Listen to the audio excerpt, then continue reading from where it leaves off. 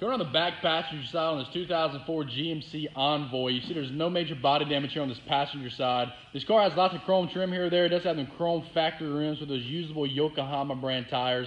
This is an SLT, so it does have the carpet floors, leather seats, electric front seats, AM FM radio a CD player. It's a pretty loaded little vehicle here. Has those runner boards. Like I said, there's no major body damage that we can see, aside from a couple small dings and dents here or there, but no major body damage. The front end's in really good shape. Has that 4.2 gas engine with 224,000 miles.